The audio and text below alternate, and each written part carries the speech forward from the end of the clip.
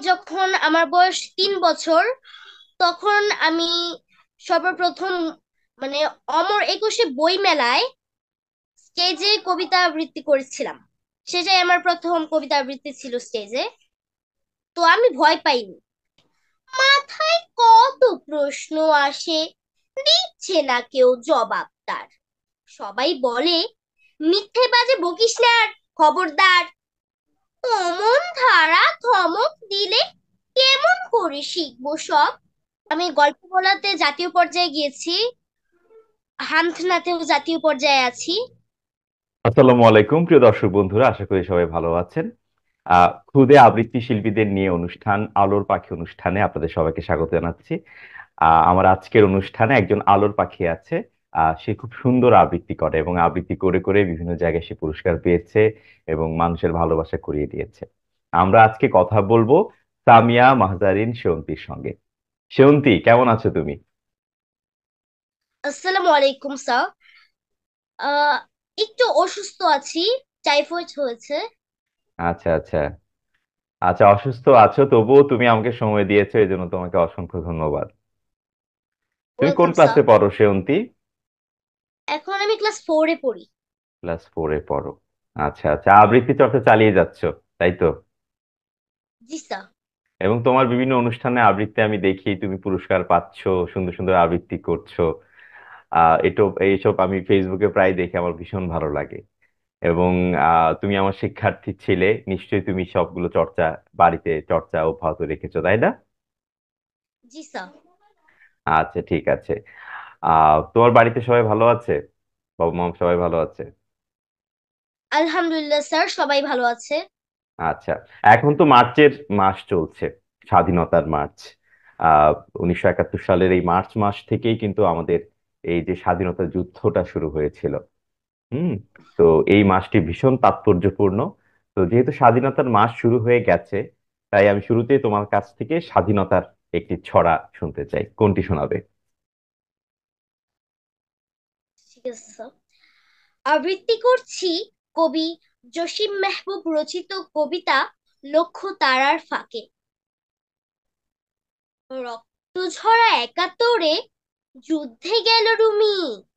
যাবার আগে বলল মাকে, কাঁদছো কেন তুমি? তোমার জন্য আনব আমি গোলাপ মুঠো মুঠো। দেখবে তুমি আমার প্রিয় পায়রা ছানা দুটো। আমায় যখন খুঁজবে ওরা বলবে তুমি কি, মা? বলবে, রুমি পেরিয়ে গেছে। দূরের কোনো সীমা? বলবে, আরও দেশের জন্য লড়ছে তোমার খোকা। ফিরবে নিয়ে স্বাধীনতার গোলাপ থোকা থোকা। মায়ের খোকন আর ফেরেনি, পায়রা উড়ে উড়ে খুঁজতে থাকে সেই রুমিকে। বাকুম বাকুম সুরে, হন্যে হয়ে খুঁজে ওরা পায় না কেন তাকে? মায়ের খোকন জ্বলছে দেখো লক্ষ তারার ফাঁকে। মায়ের খোকন জ্বলছে দেখো লক্ষ তারার ফাঁকে। ধন্যবাদ সবাইকে। খুব চমৎকার একটি আবৃত্তি শোনালে। এটা আসলে শহীদ জননী জাহানারা ইমামের জ্যেষ্ঠ পুত্র রুমিকে নিয়ে লেখা একটি ছড়া। এবং সেই ছড়া, এই ছড়াটা কিন্তু ভীষণ রকম জনপ্রিয় এবং আসলেই সেই রুমির কথা মনে করিয়ে দেয় যে রুমি আসলে মাকে বলে যুদ্ধে গিয়েছিল এবং সেই যুদ্ধে আর ফেরেনি। আমাদের মহান মুক্তিযুদ্ধে এরকম অসংখ্য ঘটনা আছে। মা তার সন্তান হারিয়েছে হ্যাঁ? আমরা আমাদের মা বোনদের হারিয়েছি, বাবা ভাইকে হারিয়েছি। তো সকলের সম্মিলিত প্রচেষ্টায় সকলের আত্মত্যাগ সকলের রক্তের বিনিময়ে কিন্তু আমরা আমাদের স্বাধীনতাটাকে পেয়েছি। তাই না সেয়ন্তী?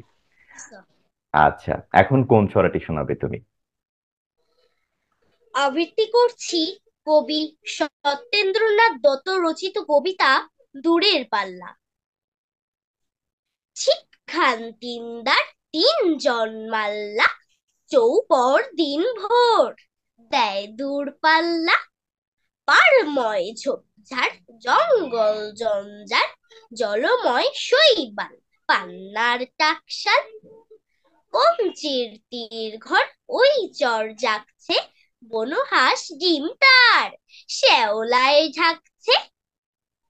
চুপ চুপ, ওই টুক দেয় পান কৌটি, দেয় ডুক টুক টুক ঘোমটার বউটি ঝক ঝক কলসির বক বক শুনগো ঘোমটার ফাঁক বয়, মন উন্মন গো। তিনদার ছিপ খান মন্থর যাচ্ছে, তিনজন মাল্লায় কোন গান গাচ্ছে? রূপশালী ধান বুঝি এই দেশে সৃষ্টি, ধূপ ছায়া যার শাড়ি তার হাসি মিষ্টি মুখখানি মিষ্টি রে, চোখ দুটি ভোমরা ভাব কদমের ভরা, রূপ দেখো তোমরা। ময়নামতির জুটি, ওর নামি টগরি, ওর পায়ে ঢেউ ভেঙে জল হলো গোখরি। ডাক পাখি ওর লাগি ডাক ডেকে হদ্দ, ওর তরে সুত জলে, ফুল ফোটে পদ্ম ফুল ফোটে পদ্ম ফুল ফোটে পদ্ম। ধন্যবাদ সবাইকে। খুব মিষ্টি খুব মিষ্টি। তুমি এই ছড়াটি খুব পছন্দ করো তাই না? জি স্যার। হ্যাঁ এটা আমি তোমাকে শিখিয়েছিলাম। এটা আমারও ভীষণ ভালো লাগে এবং শিশুরা এটা খুব পছন্দ করে। বিভিন্ন ছন্দের ব্যাপার আছে তো। আরেকটা ছড়া শুনব। কোন ছড়াটি শোনাবে? তোমার প্রিয় একটা ছড়া শোনাও। আরও একটা প্রিয় ছড়া শোনাও। আবৃত্তি করছি কবি সুকুমার রায় রচিত কবিতা বিষম চিন্তা। মাথায় কত প্রশ্ন আসে, দিচ্ছে না কেউ জবাব তার। সবাই বলে, মিথ্যে বাজে বকিস না খবরদার। অমন ধারা ধমক দিলে কেমন করে শিখব সব? বলবে সবাই, মুখ্য ছেলে, বলবে আমায় গোবর্ধ কেউ কি জানে দিনের বেলায় কোথায় পালায় ঘুমের ঘোর? বর্ষা হলেই ব্যাঙের গলায় কোত্থেকে হয় এমন জোর? গাধার কেন শিং থাকে না? হাতির কেন পালক নেই? গরম তেলে ফোড়ন দিলে লাফায় কেন তা ধেই ধেই? সোডার বোতল খুললে কেন ফসফসিয়ে রাগ করে?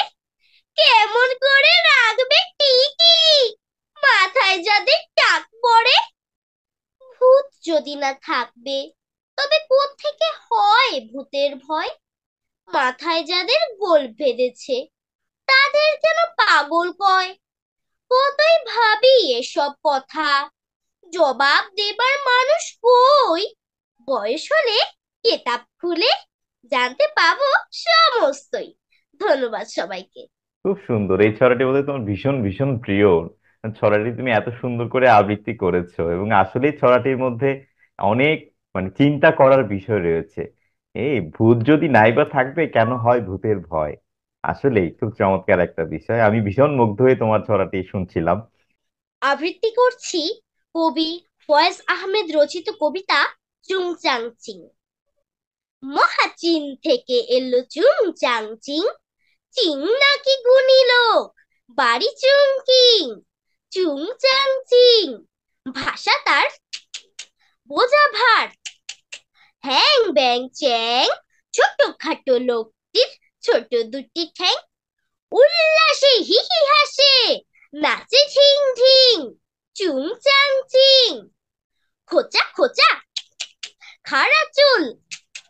গোল মাথাটায় তাজ্জব আজ বুবি ম্যাজিক দেখায়। ম্যাজিকের গুণে হয় মানুষের শিং। চুং চাং চিং। ফুল তোলা। জামা ঢোলা। মান ভারী তার। দুর্দশা কম জোরে ছোট নাকটার। গান গায় কি যে ছাই মুং মাং মিং। চুং চাং চিং। চুং চাং চিং। চুং চাং চিং। কোন স্কুলে পড়ো? আটচল্লিশ নং ভালুকা সরকারি প্রাথমিক বালিকা বিদ্যালয়ে। আচ্ছা বুঝতে পারছি। তো তো ময়মনসিংহ ময়মনসিংহ কিন্তু আমি গিয়েছিলাম। ঠিক আছে? তোমার সঙ্গে দেখা হলো না পরবর্তীতে গেলে অবশ্যই তোমার সঙ্গে দেখা হবে। আহ তোমাদের গ্রামের বাড়ি কি ময়মনসিংহ? জি স্যার। আচ্ছা আচ্ছা বুঝতে পারছি। আহ তো তুমি আহ আমি প্রায় দেখেছি তুমি বিভিন্ন অনুষ্ঠানে গিয়েছো পুরস্কার পেয়েছ। এই বিষয়ে কিছু অভিজ্ঞতা শেয়ার করো কেমন ছিল? তুমি কি অর্জন করলে? জি স্যার আসলে আমি যখন আমার বয়স তিন বছর তখন আমি সর্বপ্রথম মানে অমর একুশে বই মেলায় স্টেজে কবিতা আবৃত্তি করেছিলাম। সেটাই আমার প্রথম কবিতা আবৃত্তি ছিল স্টেজে তো আমি ভয় পাইনি। আমার আর কি কবিতা আবৃত্তি করার তখন অনেক ইচ্ছা ছিল। তারপর কোন থেকে কবিতাটি আবৃত্তি করেছিল মনে আছে? জি স্যার। কোনটা? খুকি ও কাঠবিড়ালি আচ্ছা আচ্ছা। হ্যাঁ এরপরে শুনি।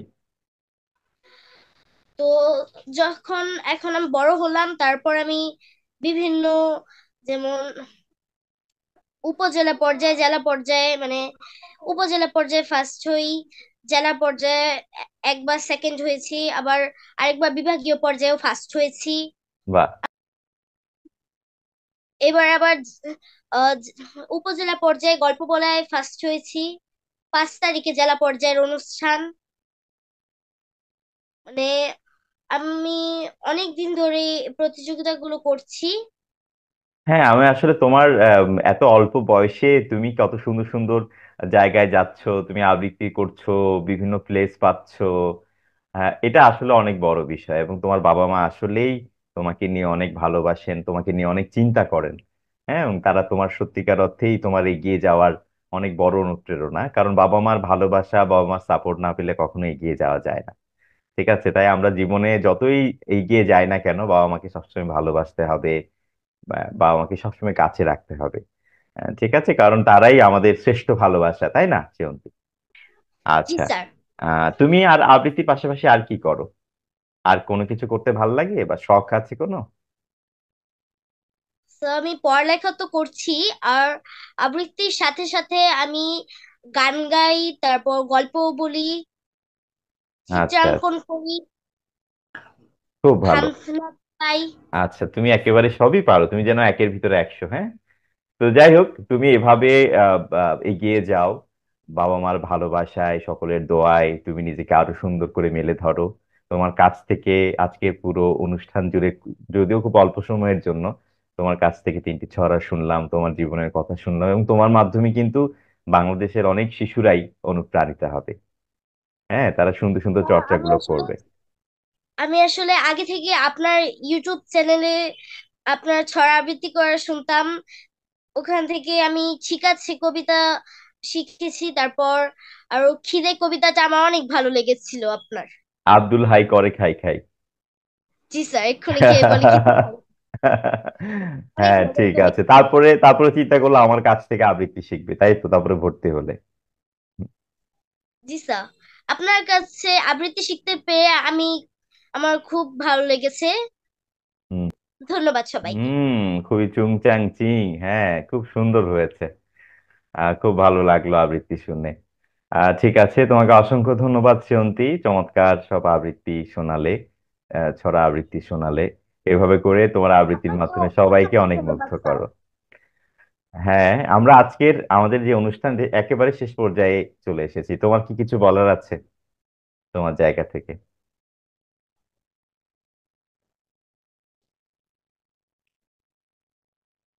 স্যার আমার জন্য দোয়া করবেন। আমি যাতে বড় হয়েও এভাবে কবিতা আবৃত্তি চর্চা করে যেতে পারি অবশ্যই তোমার জন্য হুম। করতে পারি। অবশ্যই তোমার জন্য অনেক দোয়া। তুমি আমার চেয়ে ভালো করো। আমার চেয়েও তুমি ভালো করছ। তুমি চমৎকার আবৃত্তি করো। ঠিক আছে? আর তোমার পড়াশোনা ঠিক রেখে পাশাপাশি সবকিছুই করবে সেটা তোমাকে অনেক দূর এগিয়ে নিয়ে যাবে শান্তি অনেক ভালো থেকো। আসসালামু আলাইকুম। আপনি ভালো থাকবেন। আসসালামু আলাইকুম স্যার। ওয়ালাইকুম আসসালাম শান্তি ভালো থেকো।